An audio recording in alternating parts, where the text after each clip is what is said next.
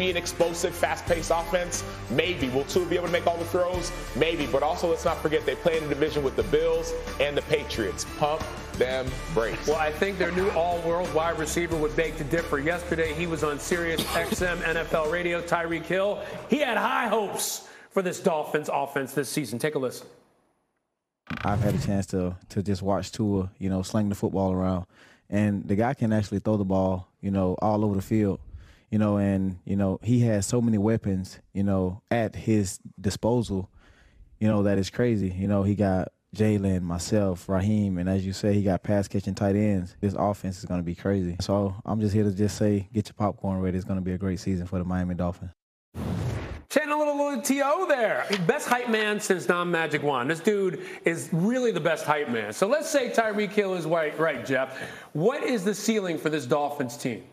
Oh, it's playoffs. And listen, when I look at this football team, that they they are loaded up. I mean, to his point, he's making no mistakes in what he's saying. Tua is going to be the absolute key here. But let's not forget, Mike McDaniel, when he was in San Francisco as the offensive coordinator, they led the league in per play, right? Per play average. So this guy understands how to create a run game that will support Tua and this wide receiving core and tight end group that he's talking about.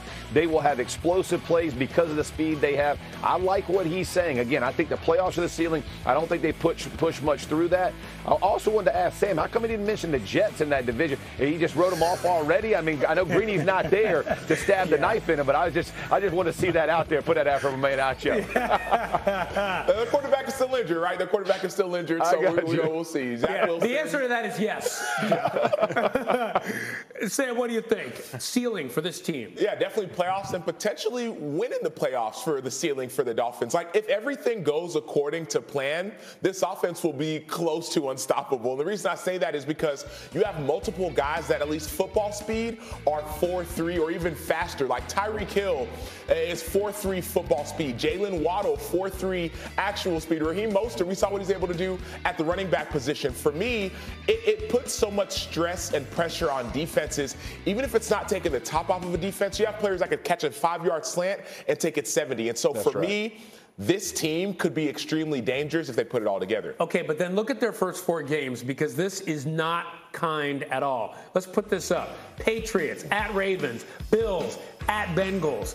So, Jeremy, we talked about this earlier. What is the ceiling for this team especially when you look at those first four games. Ceiling is a two seed, baby. I'm wow. Two seed. Whoa. Wow. wow. A lot would have to happen. Buffalo would have to sort of win, you know, lose some games that you wouldn't expect. All those teams would have to not show up for those games, yeah, but right? Look, look at the AFC. They're like 12 teams yeah. that could either make the playoffs, get a divisional crown. Like it's going to be chaos in the AFC. So you you heard Tyreek Hill for all the pumping that he's done of Tua as the next Joe Montana publicly. He did say something that is matter of fact. That look at all the weapons Tua has right. at his disposal, and that is absolutely true. You combine that with a really good defense that helped them win 19 games the last two years, even with some quarterback questions. Now they have the stability. I, am pretty bullish on them right now. And he may be right. Tyreek Hill may be right. I mean, there, there's a piece that has to do with like confidence and belief. Yeah. Mike McDaniel believes in Tua. He has yeah. like like Tua's even done interviews. We said, man, it's good to have. Uh, it feels different, is what he said. It feels very very right. different. He has a coach who believes in him. So you have a coach who, like like Jeff Saturday just said, was a part of a team that was the number one in the NFL in yards per attempt. So he knows how to push the ball down the field. You also have a, a coach who believes in his quarterback. Sometimes that's all you need to see a turnaround. And so if Tyreek Hill is right, Jeremy, you might be right as well. Yeah, it's a little like what they're doing in San Francisco. Give him all the pieces he needs to let him do what he can do based on his talents. Jeff, I'll give you the last word. Yeah, I, again, what Sam said, I'm going to reiterate it. Like when, with the, the, coupling of Mike McDaniel, the development of a quarterback, and listen, I love Brian Flores. I, what he was doing down in Miami, it, it was kind of getting sabotaged. We've already heard of all that from from the from the management side of it, but this is a player who is going to be developed in an offense that we have seen the productivity in it year after year. So expect big things. If that run game gets going, and they added Armstead, uh, they got Connor Williams, so they've done some things to get guys in places. Hunt's still there, so so they're going to be a better upfront team if they can physically challenge teams. Man, the back end of this def- uh, back end of defenses will be exposed. Let's talk Packers Chiefs. Chiefs hosting the Packers on Thursday, and look at this: Patrick Mahomes starts out on the field honoring late Hall of Famer Len Dawson recreating that infamous choir huddle. You see the picture right there, that iconic image. And then a few seconds later, Mahomes hyping up the crowd, wouldn't play a snap. Neither would Aaron Rodgers, so Jordan Love was the man on this night. And right here, dropping back, hitting Samori Toure for the 19-yard reception, right on the money there. A minute later, Love connecting with Amari Rodgers.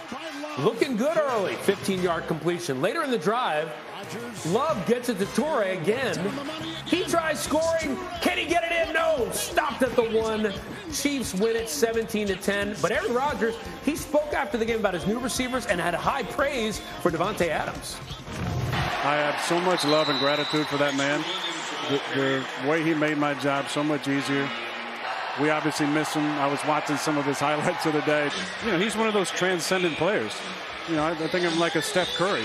People trying to copy him, but it's just you can't do it because you're not Davante.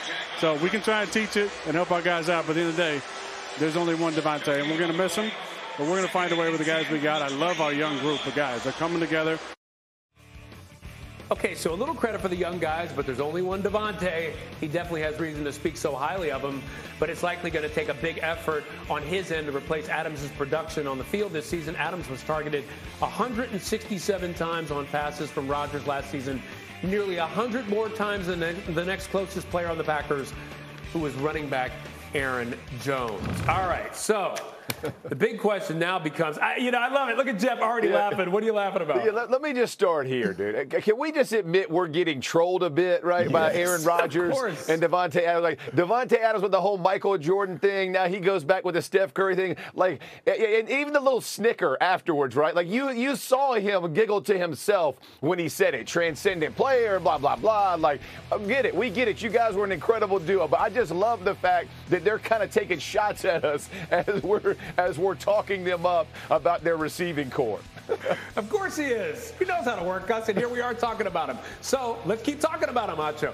Can this group of wide receivers make up for the loss of Davante? Uh, I think I, I, think they can, but it won't just be the wide receivers. I think okay. it'll be the running backs as well. Last year, Aaron Jones and AJ Dillon caught a combined 86 passes out of the backfield. There was talk that maybe that could be more. Even if the, we t- everyone would say, man, the young wide receivers may not be able to step up. Even if they don't, we've seen Aaron Rodgers be able to sustain offenses without his number one receiver. He's That's thrown right. it to backs in the backfield. He also has uh, young receivers that are coming back, right? Christian Watson is back off of PUP. And so I think that Aaron Rodgers is, is a good enough player to be able to help his offense go even without even without what do you say, Michael Jordan or Steph Curry, even without even without his, his, his, his Robin to his Batman. All the greats combined. Or Giannis, whoever it is. Jeremy, yeah. what are you hearing about the Packers in conversations around the league? Well, I'm hearing if Aaron Rodgers and Davante Adams are trolling us, then Rodgers is about to troll the whole league with this ah. play, getting it done without Davante Adams. Because the feeling around the league is like, hey, they're paying him $50 million a year to get this done, and he always has with all the receivers he's had in the past, Jordy Nelson, Randall Cobb,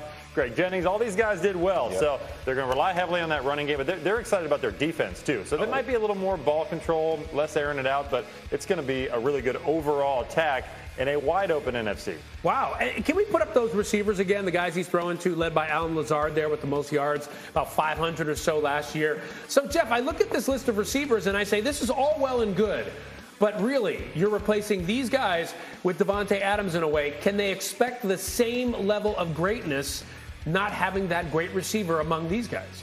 They do expect it, and right, it's a great yes. point. But they expect it, and, and I can guarantee you, Aaron Rodgers expects it. He understands who Davante Adams was and how good of a football player he is. He also understands how good of a quarterback he is. And the truth is, if you watch the great ones, you watch the great quarterbacks, irrespective of their receivers. Tom Brady's done it, Peyton Manning's done it, Drew Brees has done it. Like these guys create great yeah. receivers as well. It's not just one way, right? It takes both. And I think with Aaron Rodgers telling you where he wants you on the route, the timing of the route, he understands how to get guys open. And again, let's not ever forget, too, they're an off schedule type team. There are times when Aaron will hold it, and it's a called a scramble drill, hold the ball for that split second. The receiver breaks off and has these big yards.